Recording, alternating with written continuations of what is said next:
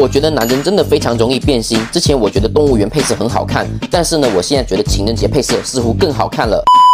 这个情人节配色的狂潮 Pro 整体做的真的是非常的用心，而且呢细节也非常的多。最关键的，它不是用的通用的粉色，而是呢用粉饰去做了一些点缀，在一整个 TPU 的外包上面，这个渐变色真的是做的特别好看。整双鞋呈现出来的感觉真的不要太好，让人感觉看着非常舒服。相信这一双狂潮 Pro 目前穿过实战的朋友还不是特别多，因为目前的一个价格还是居高不下的。毕竟这一双鞋子它是作为欧文目前的一个过渡款。在欧文一代还没正式发售之前，这双鞋子我相信它都不会有太多下降的空间。那么等欧文一代发售之后，我相信这一双鞋子它肯定是会大幅度下降的。我相信所有的欧文球迷应该都会为接下来下个月要发售的欧文一代而感到期待吧。不过话说回来，有一说一，我觉得这一双狂潮 Pro 欧文喜欢上脚也不是没有原因的。确实这一双鞋它的氮气调教回弹性非常的高，而且呢整个前掌我觉得还是非常贴地的，非常适合欧文本人的一个球鞋喜好、球鞋风。格，那么还是希望三月份赶紧到来，让大家能够穿上真正的欧文一代。